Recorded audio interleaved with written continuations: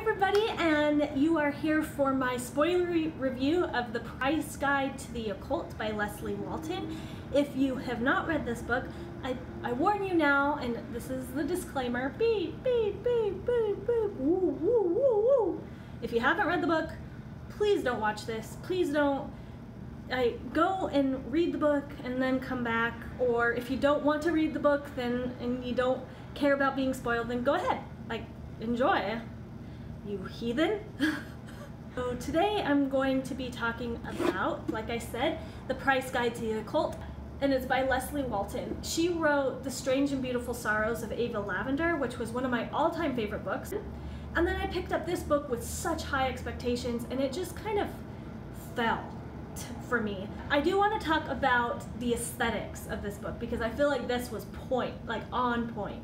So I love the color scheme. I love the black and the yellow. I feel like that's very ominous and, and creepy. And then it has like the red book and the like the book pages right there. So cool. I love that they have ferns on the front, which is so reminiscent of, of um, Nor's um, abilities, and then also Fern, her mother, and and I just, I loved that. I felt like that was done very well. So let's talk about this book. So it is about Nor, and it's about these generations of um, witches that live on this island out of off the coast of Washington state in the United States.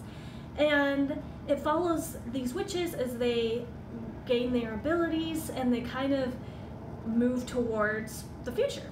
And so the main character in this is Nor Blackburn, and she's a teenager, and she's just beginning to understand that she is a witch and that she has these abilities and she's trying to figure out what her abilities are but it kind of scares her. You know that that's a trope and and it's very common in witch books. And i liked i liked it. I liked it. Character development. I feel like this book's character development was like one of its biggest flaws because I couldn't connect to any of the characters. Like I could barely even remember who anyone was. And, and it was this it's a small book. It's not it's not like where there's uh, going to be a whole bunch of world building in there. It's just it's going to be easy and uh, it should be like really easy, but I felt like there were so many characters that were being brought up where I was just like it felt like whiplash where it was just so many people and they weren't really explained well, which is shocking to me because that was one of the main reasons I liked Leslye Walton's book was um, the Ava. I'm just gonna say the Ava book because that's huge. Okay, that's a long title. So with the Ava book, like the characters were so weird and quirky and almost unlikable, and and I liked that. And then these ones were just a little bit quirky and just and a little bit unlikable, but not enough where I was like, wow, those are really interesting characters. I want to reread them. Except for Judd. I did like her character a lot. I felt like she could like she should have been a more forefront character. I felt like some of the other witches could have been cut out and then they could have focused more on Judd and and her and and Nor and you know possibly Judd's girlfriend and but nobody else. You know it just felt like too many people trying to be shoved into this book at once and it just it, it wasn't fleshed out well enough in my opinion. And then for the writing I love her writing. Um, that's one of the reasons I picked this up was because it was so uh, the last book was so enthralling. And then this one just kind of like fell flat for me. And and then I also didn't like that there were two love interests that were just like kind of thrown in there. And I I'm a person where I'm like, if there's a love story, I'm all for it. But like, you better be it better be a big part of the story, a big part of the character development, and not just thrown in there basically for like reading clickbait. And I'm not okay with that. I'm not down with that. It just didn't fit. You could have literally like torn the pages out or like taken a black marker and like blacked out anywhere there were the ones for um, I don't even remember his name anymore because I just felt like he was just stupid. But anyways, and then when everything went down, she didn't even really break up with him. It just kind of fizzled. And yes, that is realistic. That happens. But if that happens, why bring it up? You know, when I read a story, I like to read with the assumption that someone has already read through the story, taken out the import like non-important things because this is the important thing for the storyline. And that was not an important thing. He was not important at all. I did like Gage. Was it Gage or Sage? I think it was Gage. And I liked his character. I, I would have just been totally fine with the high school kid being pulled out and um, and then Gage just being kind of that love interest where it's like, oh, what, what's happening here? I don't, I don't really know what's happening, but they definitely have a connection. It, it needed a strainer. It really did. It needed a strainer to just kind of get all that junk out and kind of get the important pieces and put those back together. And I felt like that just didn't, it just didn't happen. Oh, and then another thing that really bothered me, I'm in Seattle right now.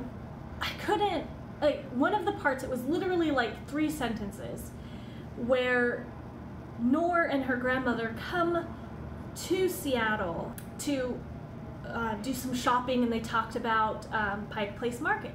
And like with the geography that they had given, there was absolutely no way they could just hop on a ferry and get to Seattle because Seattle isn't near the edge of Washington.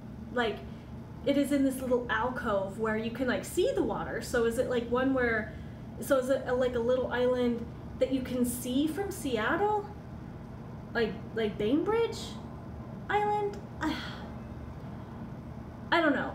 I guess the person that wrote this didn't really know much about the geography of, of Washington at the time. I don't like reading stories set in a place where the person sets it there but doesn't have any experience of that setting. That really bothers me the end was what was really screwed screwed everything over in my opinion where they were at the end of the book and everything was coming down and Nora was gonna get ready to kill her mother and then her mother just kind of dies in drops and it's done and that kind of shocked me because I, at the time I thought it was a standalone book but now I'm starting to lean more towards like maybe it isn't maybe it's actually a series that they're starting because it was it was stopped so abruptly where I felt like, nah, I don't know how I feel about that. And then also right at the very end when when Nor started to like because at the beginning of the book, let's back up. So at the beginning of the book, one of the foreshadowing pieces of her mother coming back is like all the animals going away. Plants are dying and vines are showing up everywhere, so it's quite obvious that her mother is coming to town, you know? And then at the very end, it just kind of wraps it up saying, and Nor thinks that all of these ferns and everything leaving wasn't because of her mother, it was because of her, Nor. And it was Nor's doing because of her anxiety of not wanting her mother to come. And I felt like that was just kind of like, what? Like that was not explained well. She, how did she come become, how did she like decide about that? Like, it didn't even make sense. She just had the thought and was just like, hmm, maybe it's me. Maybe. Maybe. I don't know. And I was just kind of like, meh. Like, eh. I don't, I, eh. Words. So, with that being said, like, if you've read this book and you actually liked it, like, leave a comment down below. Like I said, I did enjoy this book. I gave it three stars. Um, I just had very high expectations because I have an opinion that she's a very good storyteller. And this one just kind of fell flat for me and it kind of broke my heart. So let me know your comments, your opinions of this story down below.